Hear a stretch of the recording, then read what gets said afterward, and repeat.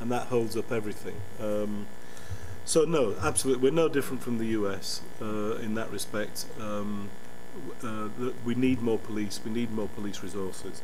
Second question uh, about the law. There is no law in, in the United Kingdom about any of this. The filtering that is done uh, and, and provided on the mobile phone networks and on the internet is all entirely voluntary. The industry agree to do it. This is part of our self-regulatory approach. Like Margaret said, uh, we try to avoid making laws. Now, that doesn't work in every country. In some countries, and the US is in fact a, a good example of this, basically, unless the law requires you to do something, you don't do it. Um, I'm not saying that's true across uh, across the board, but in the UK we have a different political tradition, a different political culture, and a different history, and self-regulation can work. Um, can you opt out? Uh, well, the short answer is really no, because it's on every mobile phone device. What you can do, however, is if you prove that you're an adult by going through an age verification mechanism, you can get the bar on pornography and the bar on gambling and the bar on dating sites uh, lifted.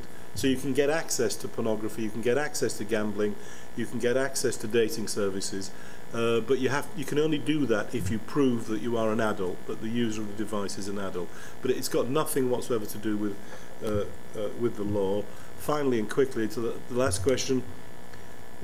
You know, we had to go through a big a, a learning curve. You know, nobody anticipated the way the internet was going to go initially. Mm. And it was only really because the media really jumped on these cases early on when they first started to happen, particularly the child sex abuse cases and the child pornography cases.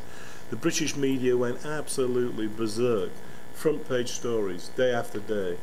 Uh, and, and thanks to uh, pressure from politicians like Margaret uh, in Parliament, the government then set up this quite complicated and now very substantial um, child protection self-regulatory body really that we've got in, in the United Kingdom. But uh, if you want to learn lessons on how not to do it, come to England. We've got loads that we can we can we can pass on. Um, I'll just echo that last point. I, I just wanted to pick up the point about uh, policing as well.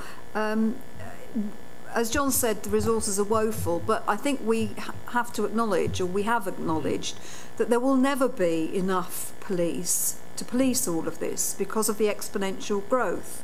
Uh, there, and that, um, you know, child sex abusers will always find new ways of doing this uh, and that the technology will always be faster as well. And I always, you know, liken it to Keystone Cops. Once again, in the same way as legislation is after the event, we've got Keystone Cops with truncheons, you know, I don't know, hitting laptops or something. It's not quite as blunt as that, but it's it's not far off. And that is why we um, have said, and that's, that's why I come back to the multi-stakeholder issue. We we have to build in the prevention into the technology, but we also have to have industry as part of the policing mechanism. And I, I kind of liken it to slapping a sheriff's badge onto Google or somebody because we can never um, move technology or, or, uh, or do the forensics on the technology as well as the guys that are designing the technology.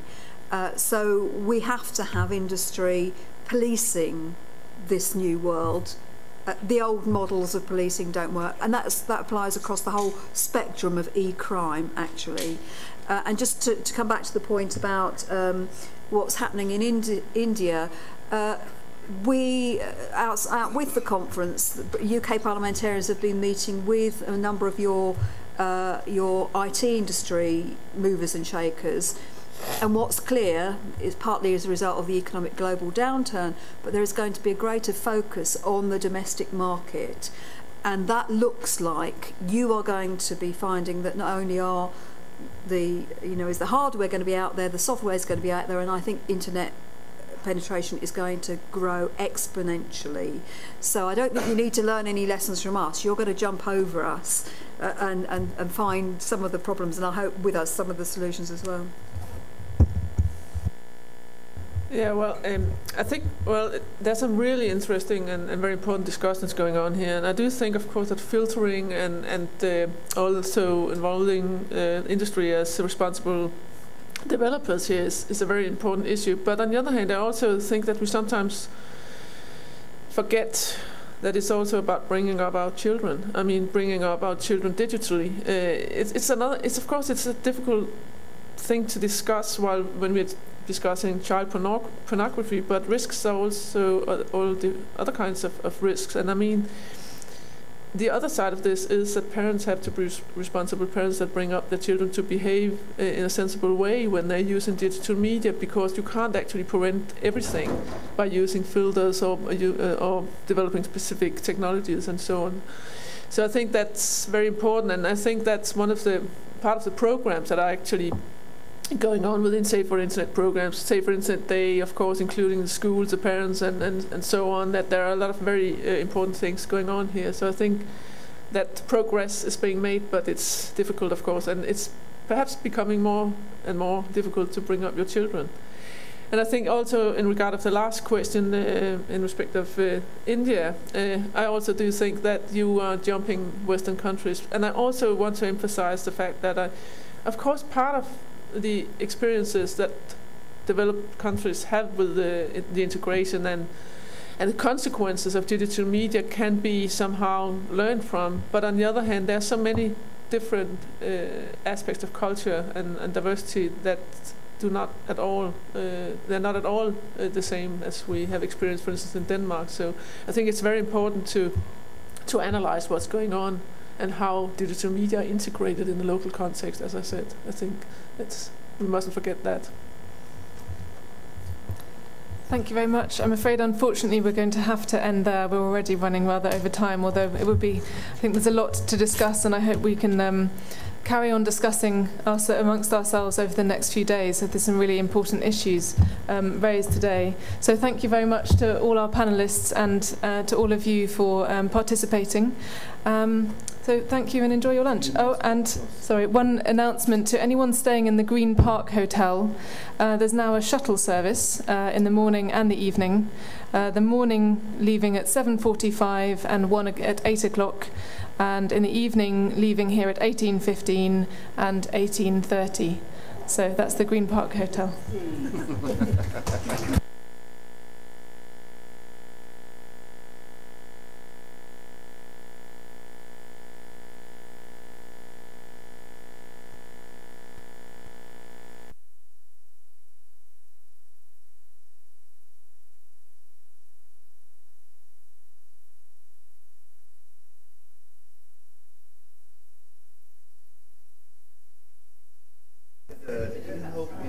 actually covering all the the years But we are talking here only about child abuse. Themselves, national hotlines tend, will deal with national issues. Mm. So in some countries, say, um, say in South Korea, awful along with the child. So they would do. In other countries, um, promotion suicide.